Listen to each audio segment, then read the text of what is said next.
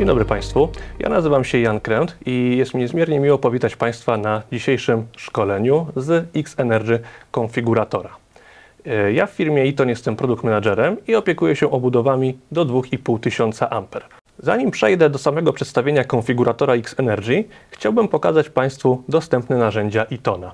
Jest ich kilka. Mamy dostępny konfigurator X-Wired, konfigurator SBC oraz program EtonCAD do rysowania schematu. Dodajmy sobie jeszcze kilka pól tej naszej obudowy, kilka aparatów mm, i zobaczmy, gdzie szukać poszczególnych pozycji produktowych.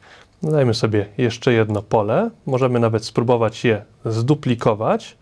Mm, tutaj, tak jak wspominałem na początku, duplikacja kompletnego pola no, będzie trwała troszkę dłużej ze względu na to, e, że Kąpiły się też wszystkie poszczególne aparaty, tak? czyli każdy wyłącznik kompaktowy, każdy aparat modułowy, każda szyna, każda osłona, dosłownie wszystko jest przekopiowane, a czasami nawet są drobne przycięcia w podglądzie, ale zwykle należy tutaj założyć drzwi, zdjąć i ten podgląd wraca do normalności. No, czasami przy, przy takich bardziej skomplikowanych operacjach, a, gdzie dodajemy, a, gdzie, gdzie mamy już dodanych mnóstwo różnych produktów, a potem to duplikujemy, no to potrafi się zdarzyć właśnie takie przycięcie w widoku, Natomiast no, zwykle to jest kwestia e, jakiejś tam jednej wartości, e, która potrafi gdzieś się tam zawieruszyć. Natomiast teraz spróbujmy sobie jeszcze zainstalować te same elementy, ale już nie na systemie Profi Plus, tylko na systemie montażowym X Energy Lite. A do tego celu po prostu usuńmy sobie wszystkie te elementy, które tu mamy. Wybieramy sobie po prostu a, klawisz Delete albo prawym przyciskiem myszy możemy nacisnąć na danej płycie montażowej, na danym aparacie, prawy przycisk myszy a, i usuń możemy to wszystko z tej obudowy wyrzucić. Mm, tutaj niestety jedna uwaga, e, jeżeli chcielibyśmy mieć rozłączniki bezpiecznikowe tylko w jednym polu, a w drugim ich już byśmy nie chcieli mieć i chcielibyśmy poprowadzić szyny w kompletnie inny sposób, e, to tutaj warto wiedzieć, że konfigurator nam te opcje zablokuje.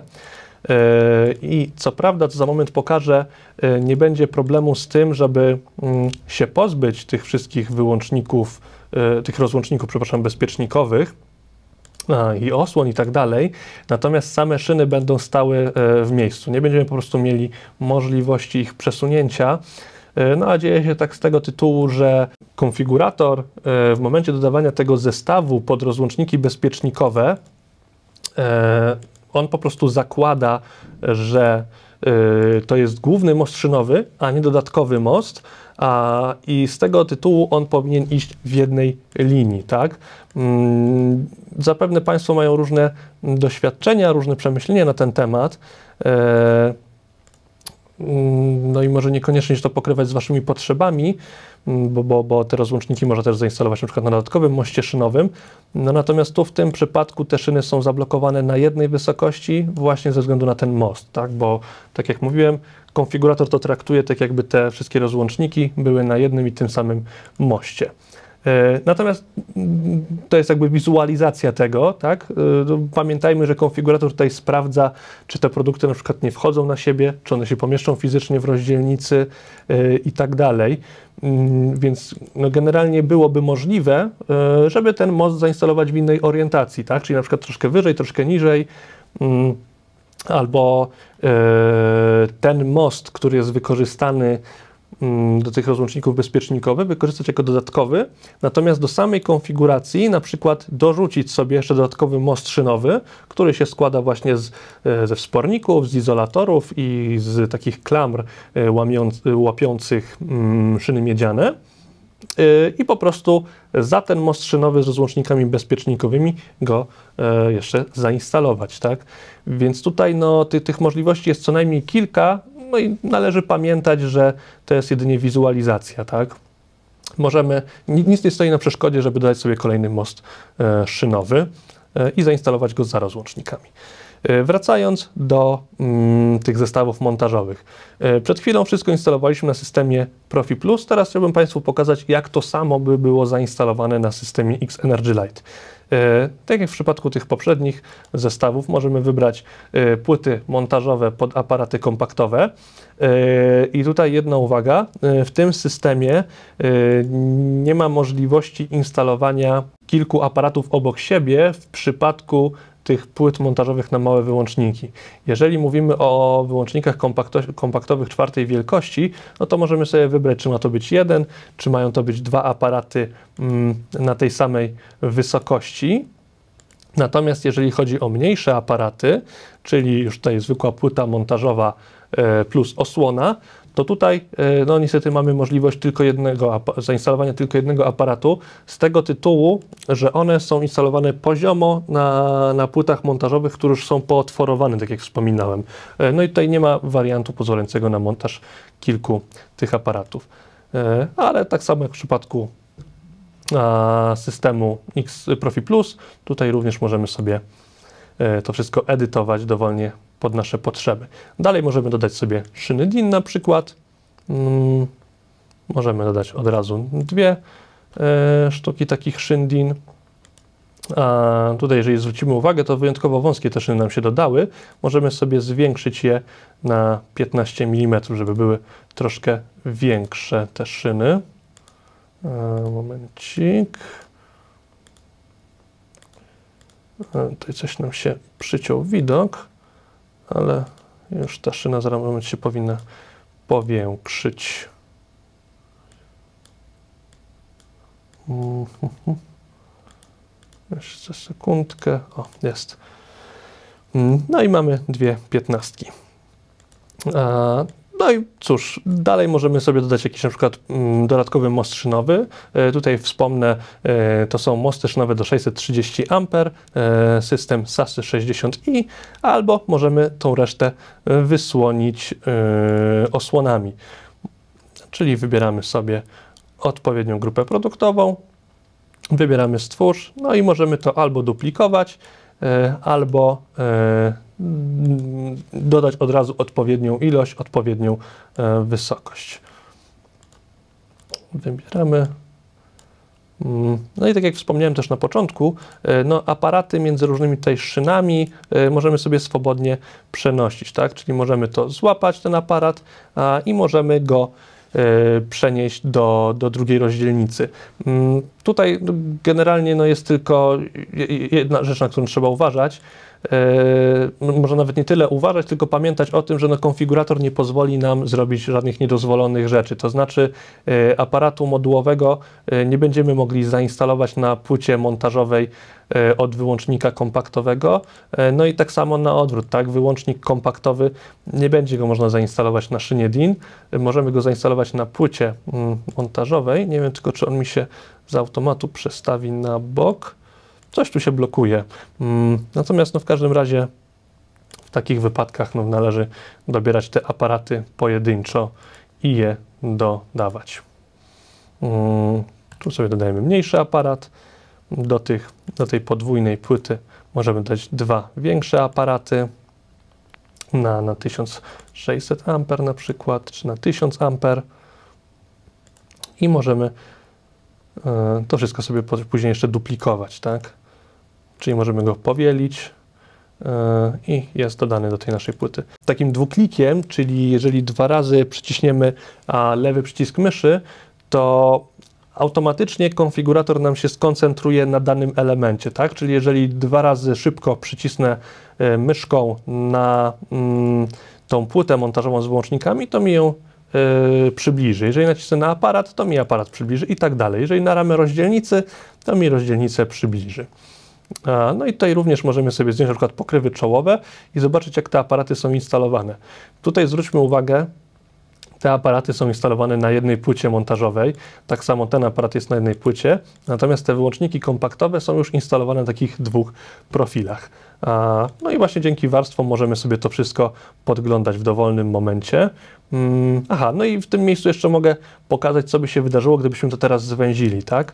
E, jeżeli tą obudowę teraz sobie złapię i zwężę, e, to wszystkie te płyty montażowe, osłony i tak dalej, to wszystko zostanie adekwatnie zmniejszone, tak? Jeżeli to sobie rozszerzę, to ponownie to zostanie rozszerzone. Jest to całkiem fajna opcja, bo pozwala nam do, dosyć dużą elastyczność w trakcie konfiguracji. Mm, nie musimy zawczasu po prostu wiedzieć co do milimetra, ile ta obudowa musi mieć szerokości, tylko możemy sobie to później jeszcze delikatnie pokonfigurować.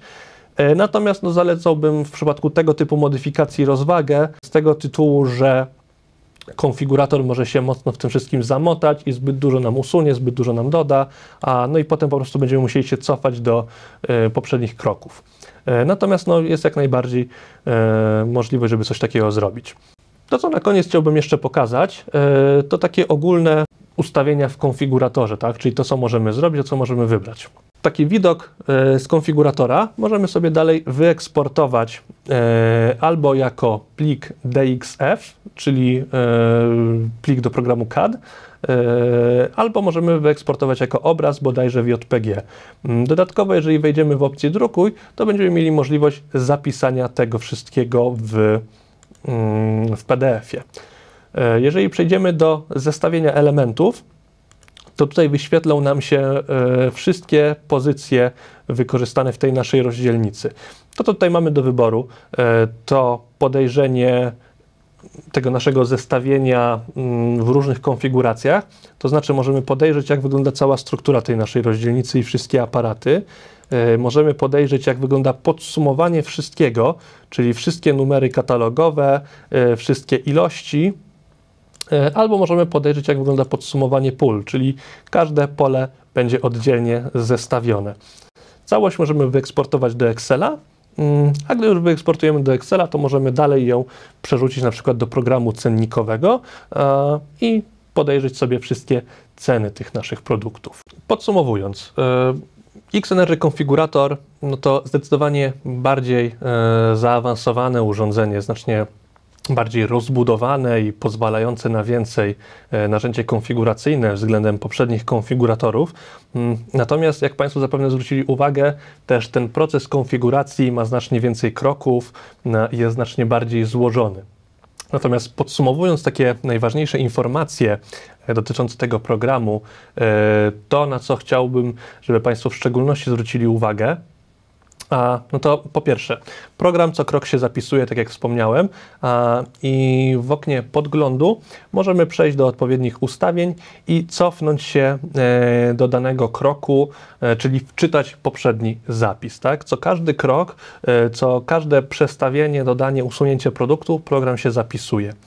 E, jeżeli chodzi o możliwości podglądu, możemy sobie sprawdzać, jak to wygląda z osłonami, bez osłon, z drzwiami mm, w dowolnej konfiguracji. Całość potem możemy wyeksportować do programu kadowskiego i tam również możemy sobie e, te warstwy zdejmować ponieważ ten rysunek będzie wykonany w taki sposób, że drzwi to jest jedna warstwa, rama to jest druga warstwa, osłony to jest trzecia warstwa i tak dalej. Jeżeli chodzi o strukturę, warto pamiętać, że jeżeli któraś z opcji y, będzie wyszarzona, nie będzie możliwa do edycji, będzie to spowodowane tym, że któryś z elementów nadrzędnych a, no po prostu nam definiuje y, dane ustawienie i dlatego tego nie można mm, zmienić. Jeżeli chodzi o zestawienie elementów, e, ceny możemy podejrzeć po przesłaniu tego wszystkiego do programu cennikowego. E, zaś co do dodawania aparatów, e, no to przypominam, że w programie znajduje się pełna oferta Itona mm, z całej Europy, nie tylko z Polski, co też może spowodować zamówienie produktów niedostępnych w Polsce, więc należy na to zwracać uwagę. Oraz co do samego dodawania aparatów, to najpierw dodawajmy e, szyny DIN czy płyty montażowe, natomiast potem e, dodawajmy e, dopiero aparaty modułowe, wyłączniki kompaktowe e, i tak. No i cóż, tym sposobem dotarliśmy do końca. Dziękuję Państwu bardzo za uwagę. Przy okazji pragnę przypomnieć, że webinary, szkolenia i tona odbywają się regularnie co dwa tygodnie, więc warto e, śledzić nasze social media. Oraz zapisywać się na kolejne wydarzenia, mm, no, mamy specjalną stronę przygotowaną Iton Webinary, e, gdzie można się na te wszystkie wydarzenia pozapisywać i będziemy otrzymywali notyfikacje mailowe. Szkolenia będą z całego zakresu produktowego Iton, a często też e, z różnych tematów zahaczających o regulacje prawne, a, czy o różne normy bezpieczeństwa. Zachęcam do oglądania. Dziękuję raz jeszcze za uwagę i do zobaczenia.